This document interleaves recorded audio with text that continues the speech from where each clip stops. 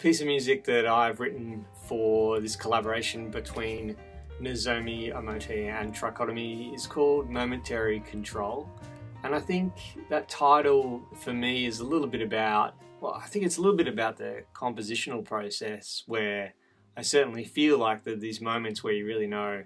what's going on and, and other moments where you you don't and you're just kind of trying to find your way through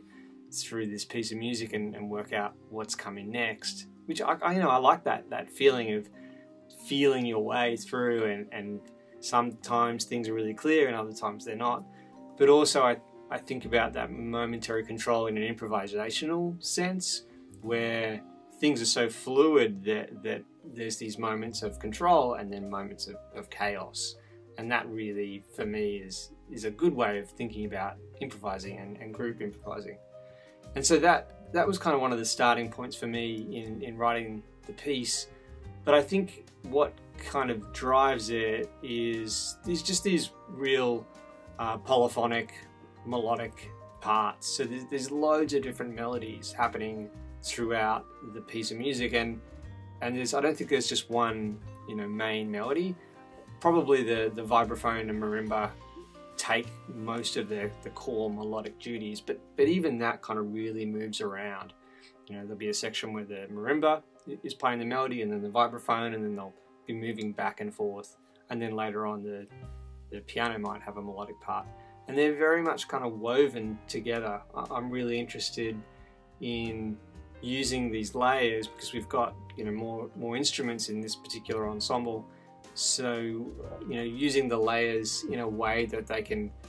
can overlap and and combine with each other to create this deeper melodic part because of the way that they interact and and, and kind of complement each other.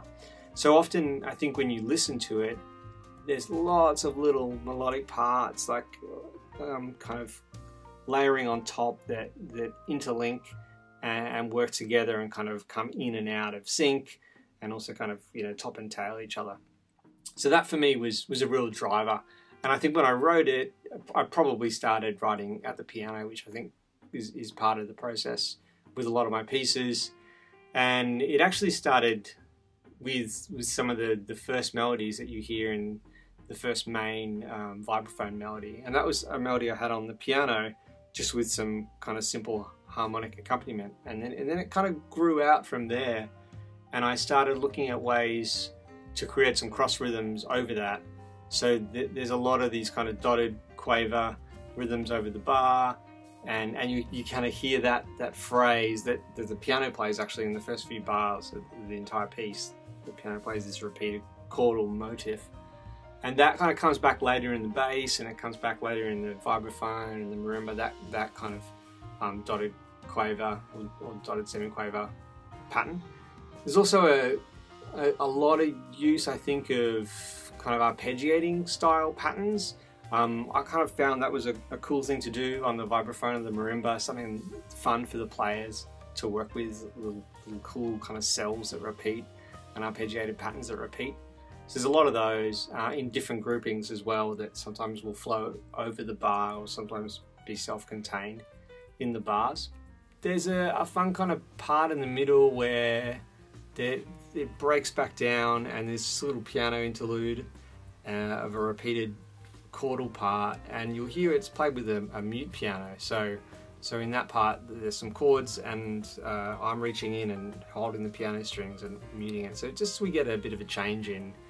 in tone and we get a different sound out of the piano. So that's an optional thing. It's kind of fun if you've got a grand piano, you can easily do that and it creates a, a change to how the piano sounds, especially when you combine it with the other instruments.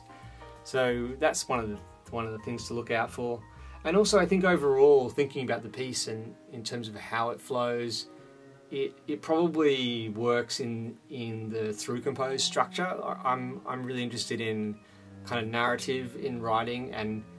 and I, I, kind of see the I see a lot of my pieces as as they're a story and they just kind of evolve from start to finish. So it doesn't go back to, to something that we've heard. It just kind of carries on through till the end of the story. And so there's new sections that that grow out of old sections and maybe you know you do hear some fragments of parts that came before, but but often it's just it's just kind of growing and changing,